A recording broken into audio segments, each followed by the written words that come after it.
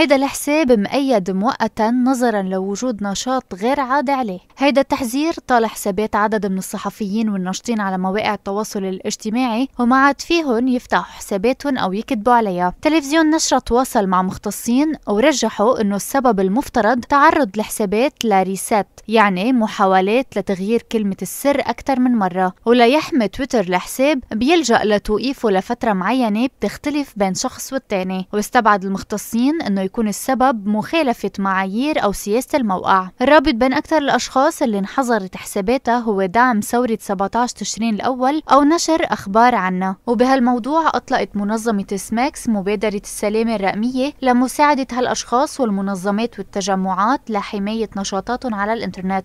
سماكس بتساعد كل شخص بيلجأ لها لاستعادة حسابات التواصل الاجتماعي المخترقة استعادة الحسابات المتوقفة تحصين المواقع الإلكترونية من الهجمات تقديم تعليمات عامة حول السلامة الرقمية. كيف بتكون؟ طريقة المساعدة. المنظمة بتتواصل مع صاحب الحساب وبتجمع معلوماتها اللازمة ومن بعدها بتقدمهم للشركة بهدف استرجاع الحسابات. سماكس ساعدت صحفيين ليستردوا حساباتهم بعد ما تواصلت معهم ورفعت تقريرها لتويتر وبعد ما تواصل تلفزيون نشرة مع المنظمة أكدت أنه بوابة مفتوحة لأي شخص تعرض لحالات قمع بحرية التعبير على مواقع التواصل الاجتماعي المادة 13 من الدستور اللبناني بتنص على حرية إبداء الرأي بالحكي أو بالكتابة ورغم تطور المجتمعات وانفتاحها عم تشهد مواقع التواصل وجود لجيوش إلكترونية سلاحها البلوك أو سرقة الحساب اللي بيكتب ضدها فهل حظر حسابات الناشطين والصحفيين ممكن يكون في حدا وراه؟